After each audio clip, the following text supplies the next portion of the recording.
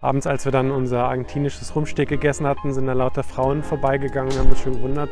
Das sind aber sehr männliche Frauen. Und dann waren wir in einem Viertel, wo die ganzen männlich als Frauen verkleideten Prostituierten rumgelaufen sind. Also das war schon eine verrückte Geschichte. Durch die CPL-Turniere Sieger haben wir uns für Dallas qualifiziert gehabt, hätten eigentlich damals nach Dallas fliegen sollen.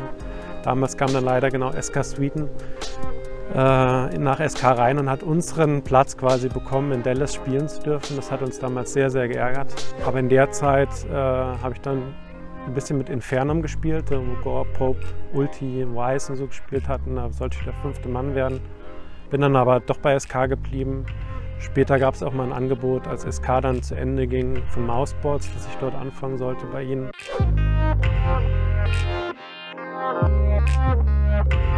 Hi und herzlich willkommen zum heutigen Counter-Strike Legenden-Interview und bei mir zu Gast ist Robert Winkler aka Robkill. Er hat früher vor allem für die Teams SK und Propane gespielt und er war auch Nationalspieler im Team Germany.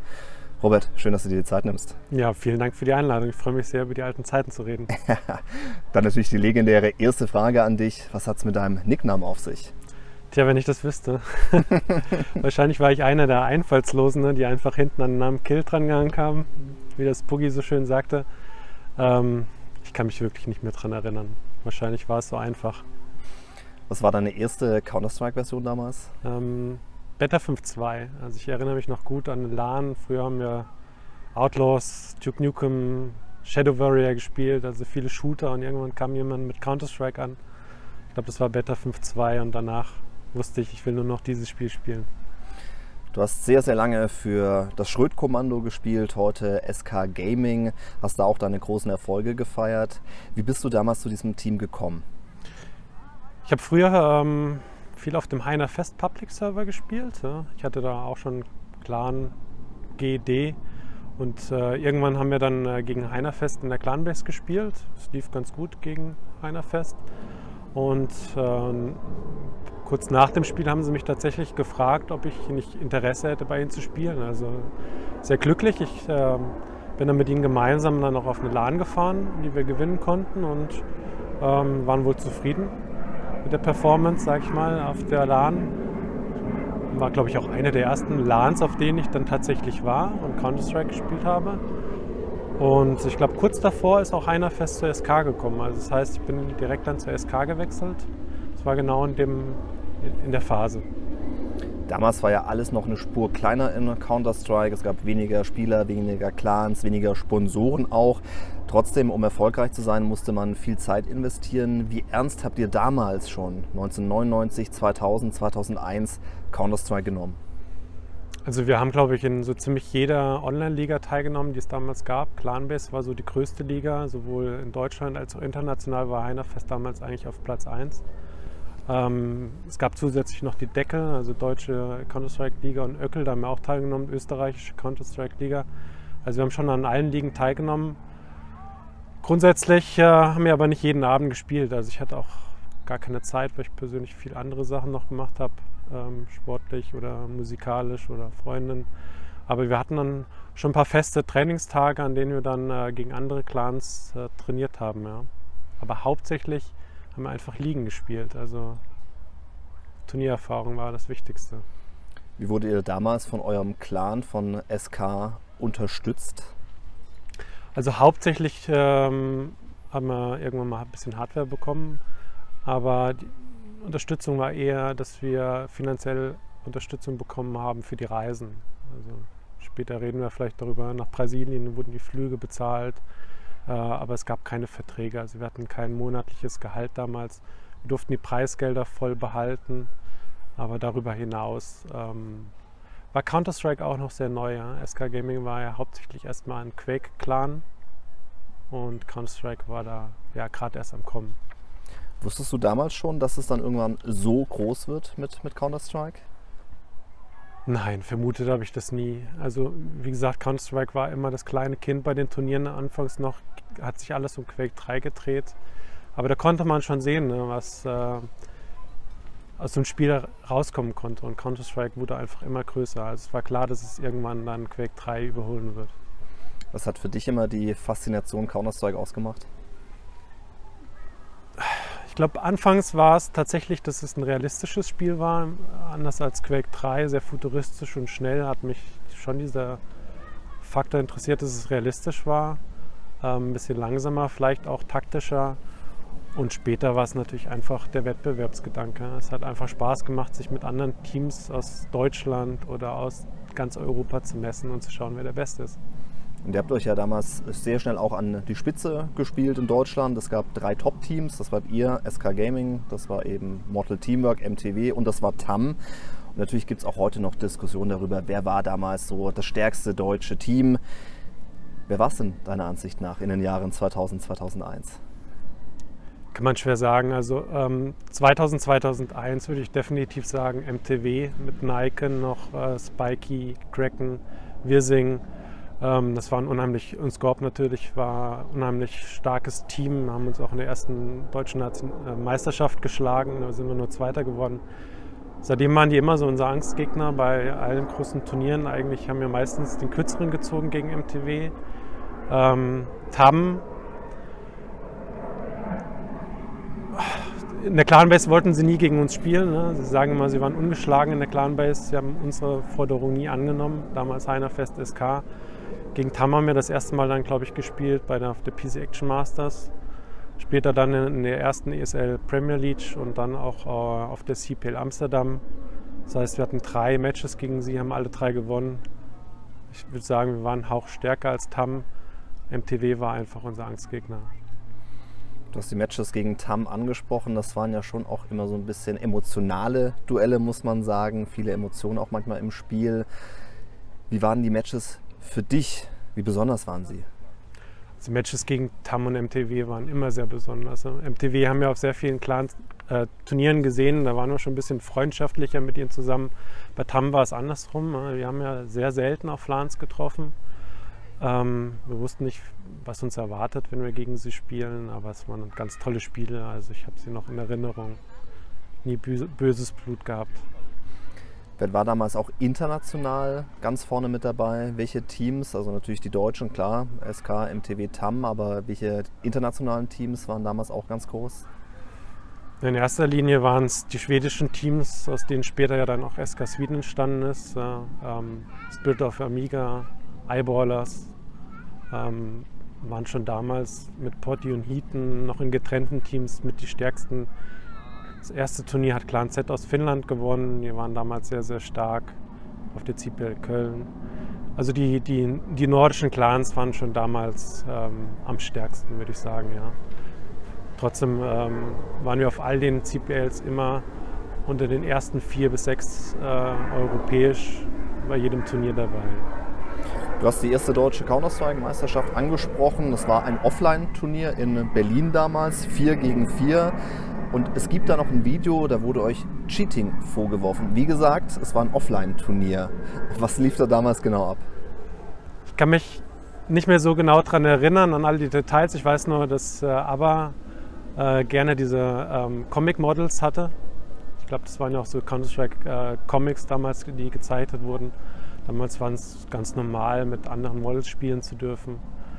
Ich glaube, es hat sich damals um diese Models gedreht. Dass ein anderes Team meinte, mit denen darf man nicht spielen. Es gab bei dieser Meisterschaft keine klare Regel, deswegen durften wir dann noch weiterspielen. Wie gesagt, er war auch der Einzige mit diesen Models. Ähm, ja, es ging dann weiter bis ins Finale und leider haben wir gegen MTW damals verloren. Ja, MTW dann der erste Platz, SK der zweite Platz und Spikey, MTW Spikey, sagt ja heute noch, ne, er ist ja der erste deutsche Counter-Strike-Meister. Wie ärgert es dich denn eigentlich jetzt so im Nachhinein? Wäre doch auch schön gewesen, wenn du sagen könntest, wir haben, hätten damals das Turnier gewonnen. Auch mich ärgert es nicht. Also es gab so viele andere schöne Turniere, die wir noch äh, gespielt haben.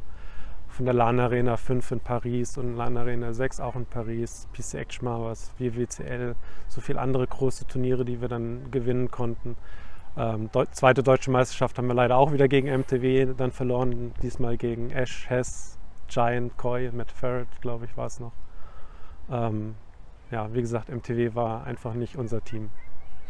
Du hast gerade schon ein bisschen deine Erfolge aufgezählt und ja, die Bilanz ist gigantisch. Ich kann sie gar nicht alle aufzählen, die Erfolge, aber die größten, die PC Action Masters 2001 in Nürnberg, zwei CPL-Titel auch in Brasilien. WWCL Finals gewonnen, viele andere Turniere und Events. Welches gewonnene Turnier hatte für dich damals immer so den, den höchsten Stellenwert?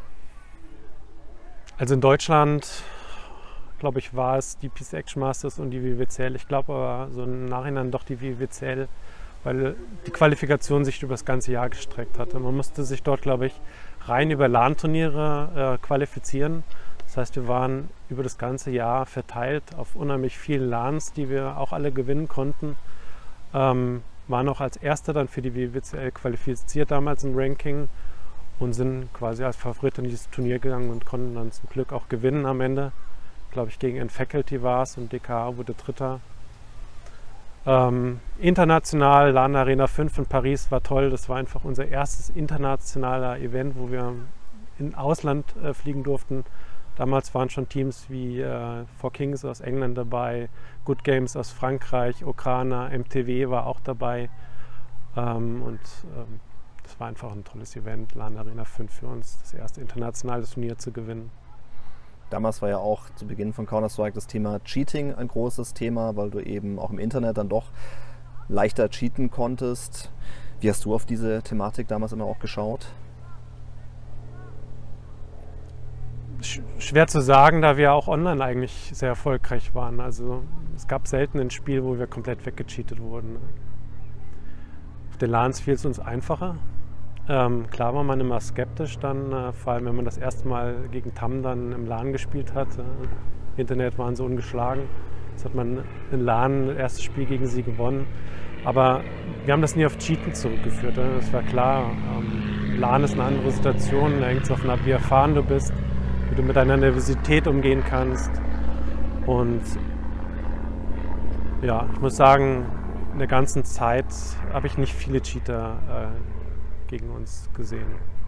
Aber die war es trotzdem lieber, die großen Events, die großen Turniere im LAN auszutragen als im Internet? Auf jeden Fall. Also wir waren auf jedem großen Event dabei. Auf jeder CPL äh, sind wir hingereist. Das, waren für uns, das hat für uns Counter-Strike ausgemacht, uns gegen die anderen großen europäischen Teams zu messen. Die deutschen Ligen, die waren schön, waren wir mal dabei, aber wir haben für die großen Events gespielt. Und ihr habt ja auch zwei CPLs in äh, Brasilien gewonnen, in Sao Paulo und in Rio de Janeiro. Es gibt natürlich auch dann der ein oder andere, der damals dabei war und sagte, ja, aber das Teilnehmerfeld in Brasilien war ja nicht so stark wie zum Beispiel bei der CPL in Holland, bei der CPL in London. Wie stark waren die Teilnehmerfelder damals in Brasilien? Also in Brasilien, ja, das war vielleicht wie das Copa America, also vergleichbar mit unseren CPLs in Europa. Da waren halt Teams aus Brasilien, Argentinien, vielleicht auch Uruguay dabei. Also es waren auch dort viele, viele Teams. Als wir äh, nach Brasilien gereist waren, wurden wir auch äh, von Leuten abgeholt, äh, denen dort Internetcafés gehörten. Haben dort schon vor dem Turnier ein paar Showmatches gegen Leute aus den anderen Internetcafés gemacht. Also dort war die Internetcafé-Szene sehr, sehr groß. Ne? Es waren schon viele Teams, die im Internetcafés gemeinsam gespielt haben, anders als es vielleicht in Deutschland war. Aber das Counter-Strike, was sie gespielt haben, war einfach anders. Ich glaube, das europäische Counter-Strike war noch damals deren Counter-Strike überlegen. Also sie sind halt mit MP5s rumgerannt, sag ich mal so, ja. Und ähm, das war eher dann in der europäischen Szene schon unüblich. Wir haben uns da schon einfach getan, würde ich sagen. Aber es war trotzdem eine tolle Erfahrung. Also war einfach das europäische Counter-Strike schon ein bisschen weiter quasi als das äh, südamerikanische? Ja, also auch wenn man sich heute noch mit Brasilianern tatsächlich unterhält, haben die diese beiden Events von uns positiv in Erinnerung, weil wir, glaube ich, einen anderen Aspekt von Counter-Strike nach Brasilien gebracht haben. Kurz danach ist, sind Clans wie Made in Brazil entstanden, die ja dann auch sehr erfolgreich waren und irgendwann, glaube ich, auch bei SK Gaming gespielt haben und sehr erfolgreich waren. Und tatsächlich, wenn man sich manchmal mit Brasilianern noch so, also was heißt unterhält über Twitter, was liest, erinnern sich noch viele daran, an, dass wir mit SK Gaming damals die beiden, ersten beiden großen Turniere dort gewinnen konnten. Wie besonders war es damals, diese Turniere für sich zu entscheiden und natürlich auch diese ganzen, diese, diese Anreise, der Trubel, Hotels dort vor Ort oder wo habt ihr übernachtet? Ja, da gibt es eine witzige Geschichte. Also äh, das erste Turnier war in einem äh, wirklich sehr, sehr schönen Fünf-Sterne-Hotel ähm, zwei von uns haben auch dort übernachtet. Ähm, dort wurde dann das Turnier auch auf den Fernsehern quasi des Hotels übertragen. Äh, wir hatten, also Cep Volli und ich haben woanders übernachtet, uns war das zu teuer.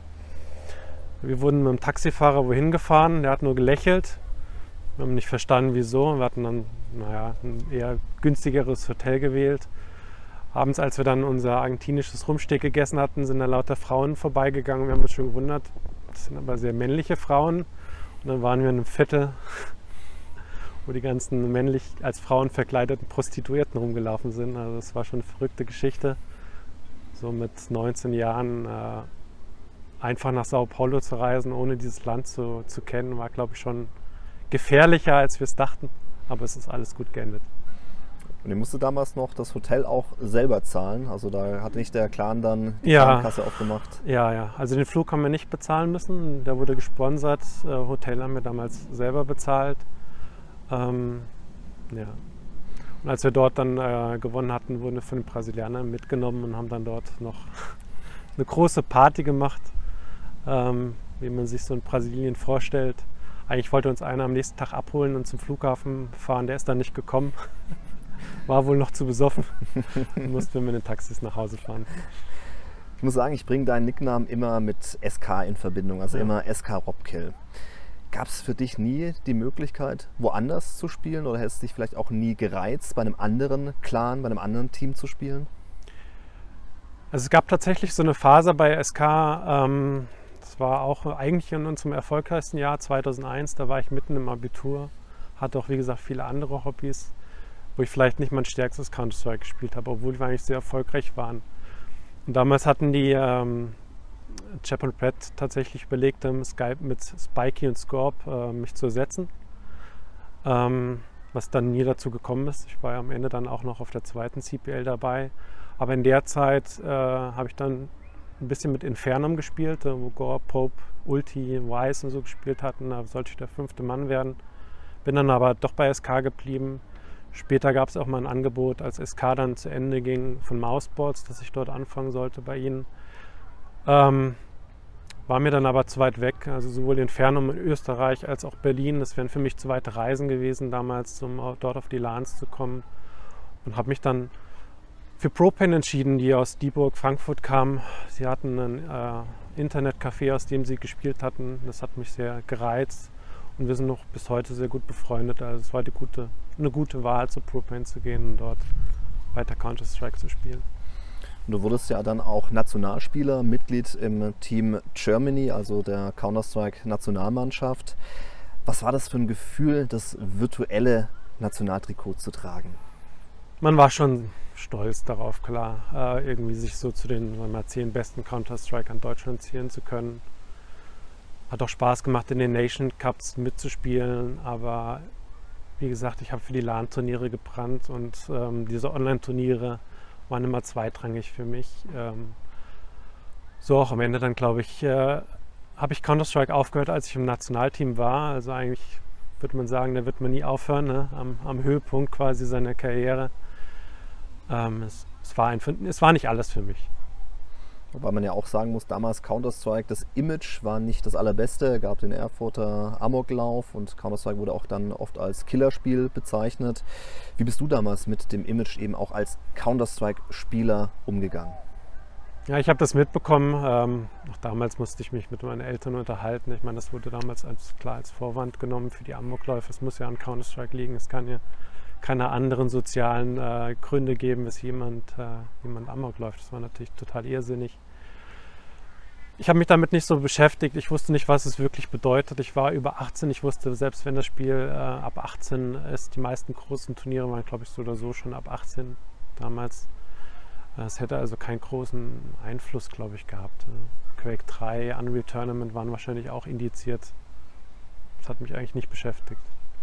Und du hast die großen Turniere alle gespielt, die CPLs. Und ich muss sagen, eine CPL, das war natürlich schon immer auch ein, ein Highlight. Also jeder Spieler, der gesagt hat, er spielt hier diese CPL, der war schon was Besonderes. Wie hast du auf diese Turniere geschaut und wie waren die auch damals schon? Das war ja wirklich noch die ganzen Anfänge von Counter-Strike mhm. organisiert in Sachen Professionalität. Ja, die CPLs waren immer das Nonplusultra. Die waren super organisiert. Ähm, damals, glaube ich, auch schon von Turtle Entertainment, Ralf Reichert von SK Gaming. Das war einfach Spitzensahne des, des Count der Counter-Strike-Turniere. Ähm, sowohl dann auch in Brasilien als auch in Europa. Nach Dallas sind wir leider nie geflogen. Eigentlich durch die CPL-Turniere Sieger haben wir uns für Dallas qualifiziert gehabt, hätten eigentlich damals nach Dallas fliegen sollen. Damals kam dann leider genau SK Sweden äh, nach SK rein und hat unseren Platz quasi bekommen, in Dallas spielen zu dürfen. Das hat uns damals sehr, sehr geärgert. War auch einer der Mitgründe, glaube ich, weswegen das Ganze dann so auseinandergebrochen ist. Ähm, lag zum Teil auch daran, dass einer von uns doch ein bisschen Flugangst hatte und ähm, es dann nicht dazu kam, dass wir hingeflogen sind. Aber wir hätten uns schon gern gesehen, mal auch in Dallas dabei zu sein, ähm, einfach bei den ganz, ganz großen Turnier dabei zu sein. Ja. Du hast dann so im Jahr 2003 die Karriere ausklingen lassen, hast dann auch den, den Schlussstrich gezogen, deine Counter-Strike-Karriere beendet. Was war der Hauptgrund dafür? Ich glaube, ich war irgendwann ausgebrannt. Das Spiel ähm, hat mir irgendwann nicht mehr so viel Spaß gemacht. Ähm, Propane, es war eine ganz tolle Zeit, auch CPL Cannes und in Bilbao hatten wir sehr, sehr viel Spaß. Wie gesagt, freundschaftlich sind wir zusammengewachsen. Aber es hat natürlich auch so der letzte große Erfolg dann gefehlt. Man hat gemerkt, man ist jetzt von der Spitze zu weit weg. Ich hätte vielleicht damals dann auch noch zu anderen großen Teams wechseln können. Team Germany, weiß ich noch, auch MTW hatte auch ein bisschen Teamprobleme, die waren interessiert gewesen. Aber ähm, damals kam eine Call of Duty raus. Ähm, ich habe das in der Universität bei jemandem gesehen und irgendwie fand ich dieses Spiel sehr, sehr reizvoll. Es war eigentlich wie Counter-Strike, nur hatte nochmal andere taktische Elemente, auch mit diesem Kim und Korn. Und ich habe Call of Duty dann angefangen zu spielen und es hat auf einen Schlag irgendwie meine Interesse an Counter-Strike zerstört. Und ähm, es war auch eine tolle, erfolgreiche Zeit eigentlich. Ja. Ich war bei Scalex. Ich glaube, wir waren 70 Spiele in Europa ungeschlagen, haben den Eurocup in der Clanbase gewonnen. Wir wurden dann, Folly hat auch mitgespielt von SK, damals bei Scalex. Wir wurden dann von der deutschen Community zu den äh, Team Captains gewählt. Wir haben ein großes Auswahlverfahren gemacht, alle durften sich bewerben, haben monatelang ja, also mal ein, zwei Monate haben wir, glaube ich, Spieler gescoutet, bis wir ein Nationalteam hatten und damit haben wir dann auch den Nation Cup gewonnen. Also es war eine, war eine tolle Zeit. Aber auch nach Call of Duty habe ich dann den Schlussstrich gezogen und komplett, glaube ich, 15 Jahre dann aufgehört mit PC-Spielen. Ja. Counter-Strike hat sich wahnsinnig entwickelt, wurde immer größer, immer professioneller. Bereust du es, dass du damals eben dann doch nicht weitergespielt hast und dann vielleicht auch später vielleicht dann vielleicht bei Mousesports untergekommen wärst? Das ist eine schwierige Frage. Also Counter-Strike hat mir immer so viel Spaß gemacht, die Turniere. Ich glaube, ich bereue es schon, dass ich nicht doch Counter-Strike weitergespielt habe, weil Call of Duty ist dann halt doch ein Merchandising, das anders gelaufen ist. Es kamen keine großen Turniere zustande. Ich hätte schon gerne weitergespielt, um an den Turnieren teilzunehmen.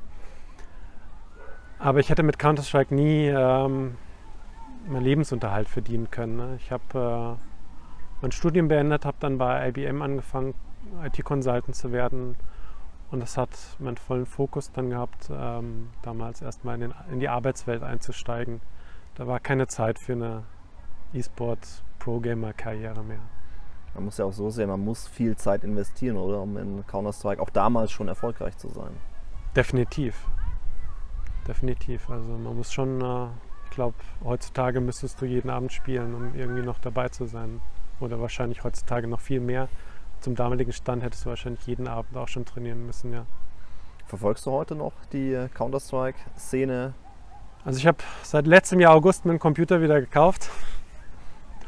Hat ein bisschen gedauert, bis ich Counter-Strike wieder installiert habe, um es doch mal wieder zu spielen. Aber seht ihr, wie ich installiert habe, noch mit ein paar alten Kollegen von Propane wieder ein bisschen Counter-Strike spiele, so just for fun. Äh, schaue ich mir auch ab und zu mal wieder Spiele an. Ähm, ESL auf Twitch wird es ja heutzutage übertragen.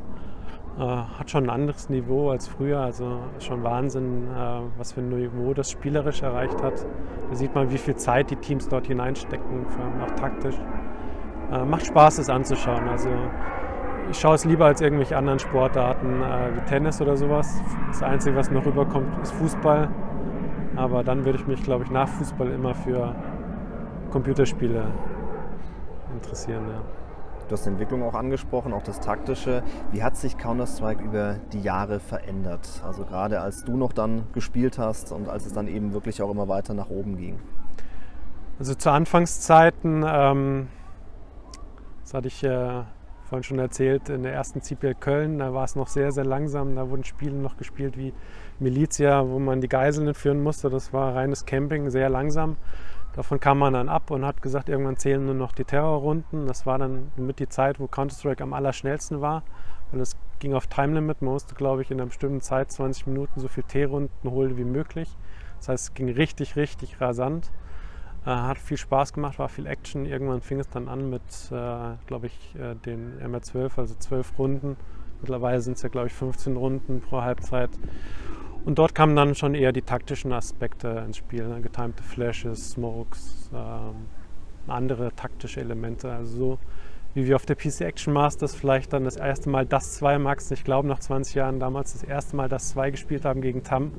Da haben wir die Taktik davor noch auf der Wiese geübt. Da haben wir gesagt, hier an Touch stell dich dahin, ich stehe hier, wir laufen da entlang und da greifen wir an. Das war noch wahrscheinlich eine andere Taktikbesprechung, als das heutzutage der Fall ist. Ja.